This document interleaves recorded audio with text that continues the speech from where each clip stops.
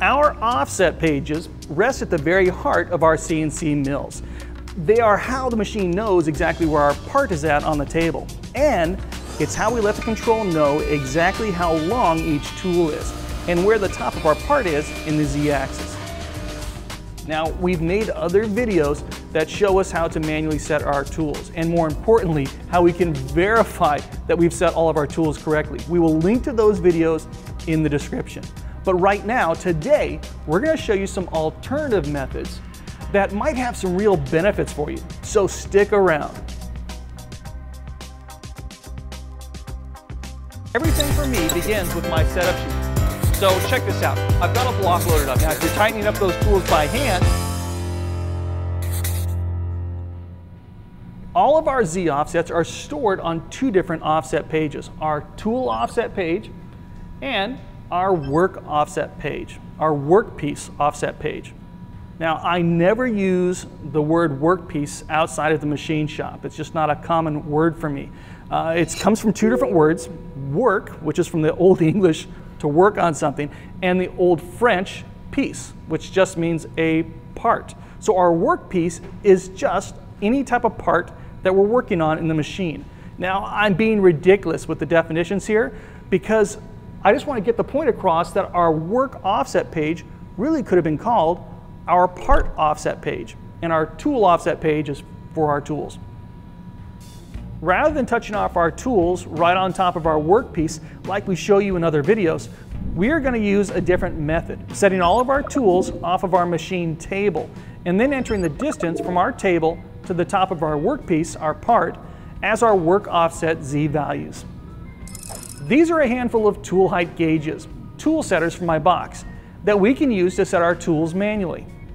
Let's start with this Z-axis tool setter. Now, it has been ground to exactly two inches thick, and it has a spring-loaded center that's tied to this precision indicator.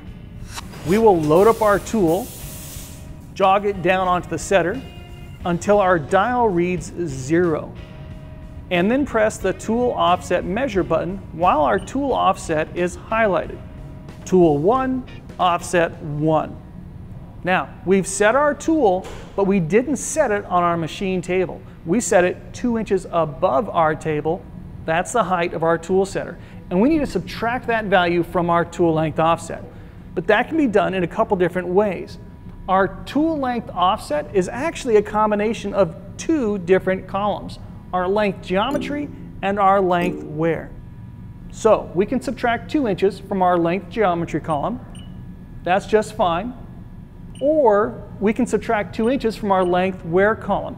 And that's the way I typically do it, just because I like to see it visually, just to make sure that we haven't skipped a step. Either way is fine. Our combined tool length offset is the distance from our machine Z0 to our machine table for this tool. And we'll repeat this process for all of our tools.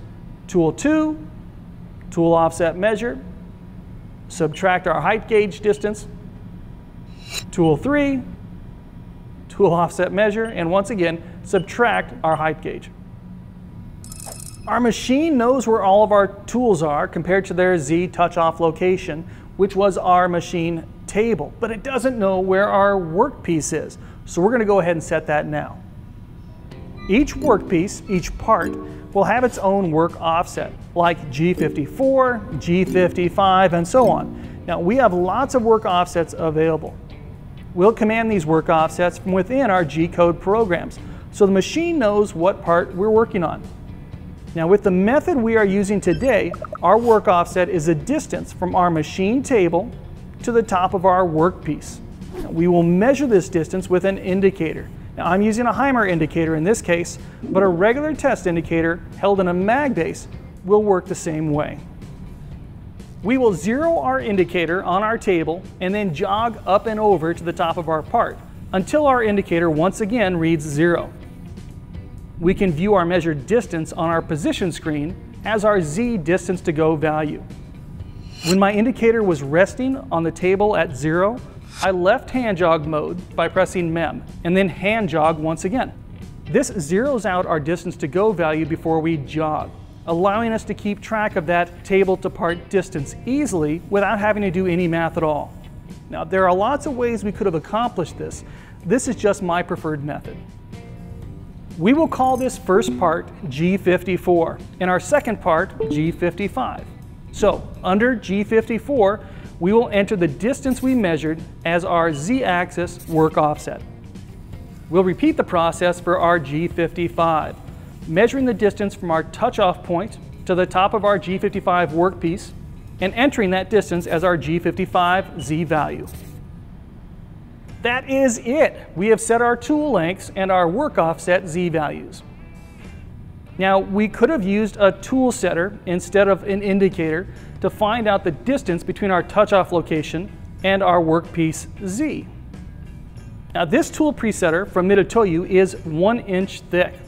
So if we use it, we will need to subtract one inch from our tool offset if we want to consider our table as our tool touch-off point. Now these precision height gauges can be calibrated just by rolling a gauge pin across their ground faces while zeroing out our dial indicator. This tool setter from Edge Technology is 4 inches tall and can be calibrated with a few 1, 2, 3 blocks.